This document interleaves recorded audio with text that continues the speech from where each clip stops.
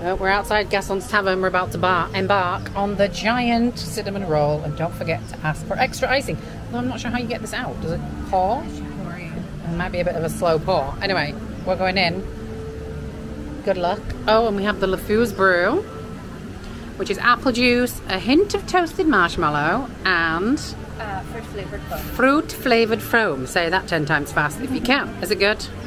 Yeah, so this is six something. I can't remember the exact amount. $6.29. Six twenty nine if you get it like this, or it's twelve ninety nine if you get it in the um, tankard, Yeah, it has Gaston on it. which is a. Is it Gaston or LeFou? It's Gaston. LeFou is obsessed with Gaston. Of course, yes. so you can get it in a, like a special tankard, but then you will obviously have to carry that around with you for the rest of the day, and rinse it out somewhere, I would imagine. Um, so we're going to go in and try and eat this sticky deliciousness of um, of this. I don't know how. You, you grab that side. It's just thinking if you're on camera. I don't even know how to pull it apart. Oh, well done. That's a good start. right, it's literally just cinnamon. I haven't even got a bit of crust. I. How do we do this? Anybody know? Wow, I'm gonna try it. I'm going in. We're going in. This is the easiest way, I think.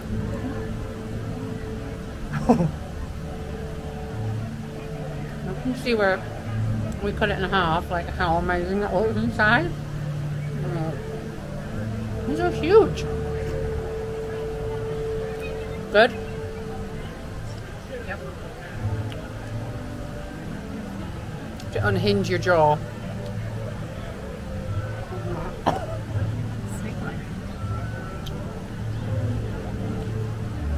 So this is from Gaston's Tavern, is just a little bit further up than Seven Dwarfs Mine Train, next to Enchanted Tales from Belle, which isn't open yet, but still. Also, you can get the um, the turkey leg, which we do not be partaking in.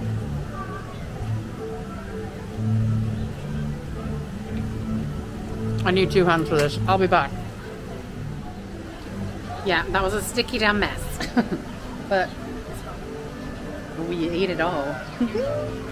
and the refer- LeFou's brew is going down nicely. And um, I've been some water. Right, we're going to uh, go see Ariel in her. No, no, we're not going to see Ariel in her cabin at all. We're going to Voyage of the Little Mermaid next. Um, if you are going to have the cinnamon roll, which is delicious, A, if you've got a big appetite, go for it. If you don't, I would recommend sharing, but bring something like a wet wipe to wipe your hands afterwards. It's sticky, or at least get a knife and fork when you buy it. Okay, bye.